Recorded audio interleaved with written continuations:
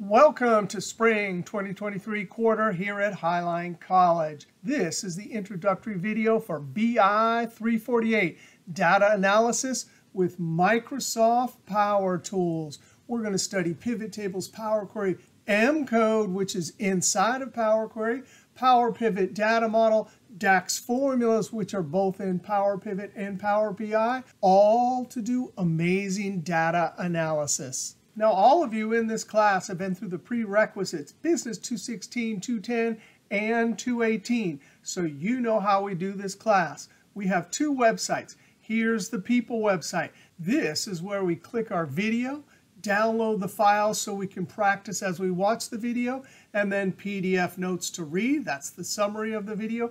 And in this class, instead of tests, we have projects. You download them after you study everything, complete them, and then upload them to our other website, Canvas. Now in Canvas, I have just a few things. Home at the top. This just reminds you to jump over to People to get our videos and files and syllabus and intro video.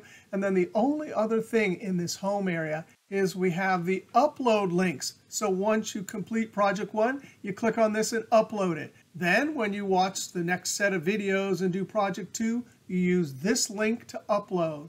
Then, of course, I grade them. Announcement section. I'll make announcements at the beginning of the week and throughout the week. This is where you can go and see your scores. And there's a discussion area. It's not required. You can post any question you want here except for questions about graded projects. But you can also email me or phone me or come and see me live. Now back over to our People website. Let's take a look at our syllabus. At the top is the table of contents. You can click on any element and jump to that section. Here is our schedule, week, date, topic. Here's the videos to study, and here's the project due date time. Now, here's the topics. And the first couple weeks and last couple weeks will actually create data analysis solutions. But in data analysis, the hardest part and the most important part is what we're going to study from week 3 to 8.